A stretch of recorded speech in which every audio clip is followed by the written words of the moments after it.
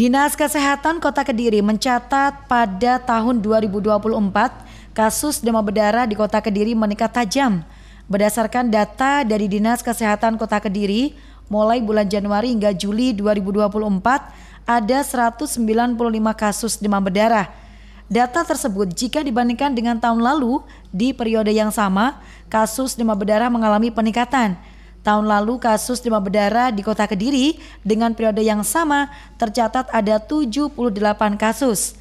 Kepala Bidang Program Pengendalian dan Pemberantasan Penyakit P2P Dinas Kesehatan Kota Kediri, Hendi Supriyanto mengatakan cuaca yang tidak menentu membuat jentik nyamuk Aedes aegypti mengalami perkembangan yang cepat. Kasus kenaikan demam berdarah juga terjadi di beberapa daerah. Menyikapi hal tersebut, Dinas Kesehatan Kota Kediri selalu melakukan fogging dan sosialisasi pada masyarakat untuk menggalakkan kebersihan lingkungan. Nah, untuk kasus demam berdarah tahun 2024 ini dari Januari, Februari ini masih belum tinggi ya, masih sekitar 7, 8.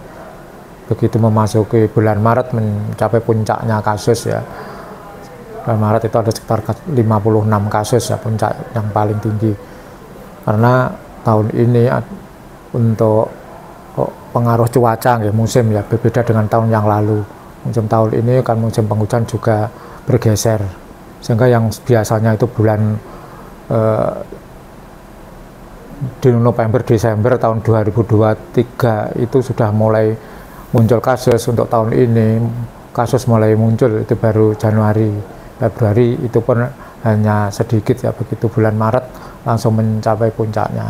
Kemudian setelah bulan Maret ini sampai sekarang beransur-ansur turun ya, tapi turunnya tidak ekstrim langsung mendadak. Turunnya ya berkisar antara 10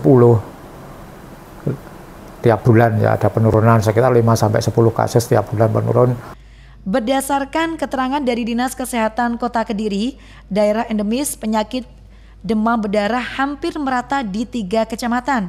Jika berdasarkan peringkat sepanjang bulan Januari hingga Juli 2024, Kecamatan Mojoroto terdapat 69 kasus, Kecamatan Kota 53 kasus, dan Kecamatan Pesantren 73 kasus. Sedangkan pada tahun 2023, Peringkat pertama di Kecamatan Mojoroto dengan 35 kasus, Kecamatan Kota 25 kasus, dan Kecamatan Pesantren 25 kasus.